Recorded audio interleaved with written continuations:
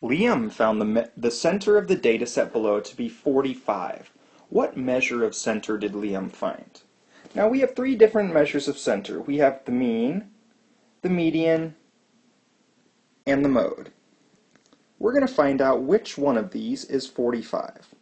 Let's start with the mean. The way we find the mean is we take every number in the data set and we add them together. That's our first step. And in this case we get 270. Then what we do is we count how many numbers there are in the data set. How many pieces of data do we have? In this case we have 6. And we take our total, 270, and divide it by 6. That will give us the mean or the average, which in this case is 45.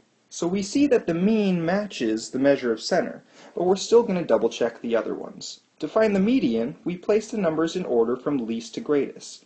Now even though 32 shows up twice, I have to list it both times.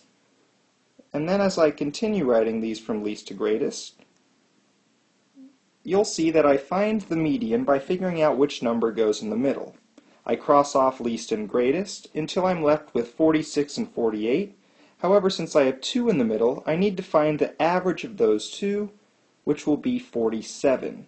So, right now our mean is 45, our median is 47, and our mode, the number that shows up the most often, is 32.